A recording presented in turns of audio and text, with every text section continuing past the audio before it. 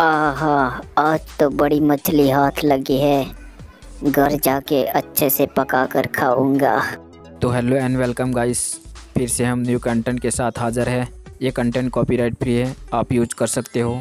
हमारा वीडियो आपको अच्छा लगे तो वीडियो को लाइक कर दीजिए हमारे चैनल पर नए आए हो तो चैनल को सब्सक्राइब कर दीजिए साथ में बेल आइकन प्रेस करके ऑल पे लगा दीजिए ताकि मैं जब भी वीडियो अपलोड करूँ आपके पास सबसे पहले नोटिफिकेशन आए